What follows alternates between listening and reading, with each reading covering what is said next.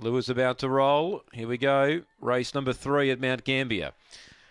Set to run. Favourite Me Turbo. They're ready. Away, missed it. Uh, speed in the middle here from Banjo Benito. Booting up, got to wobble up, but Banjo Benito's found the lure. Led by three links here to got to wobble up second. Three links to Me Turbo.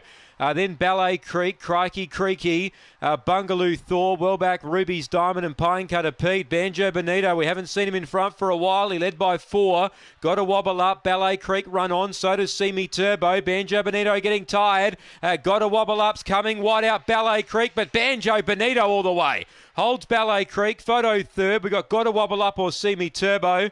Then Ruby's Diamond, Crikey Creaky, Pine Cutter Pete, and Bungaloo Thor. Banjo Benito leads all the way. Out in front, getting tired, but got the job done. For Robert Womble, number four. Six Ballet Creek second. And third, number one, got a wobble up. Should be maybe in a photo over See Me Turbo. Yeah, they're confirmed now. Four, six, and one. See Me Turbo slow to move. Banjo Benito won the start and he ducked down to the rail and kicked away down the back and gets the money 30 and 46 4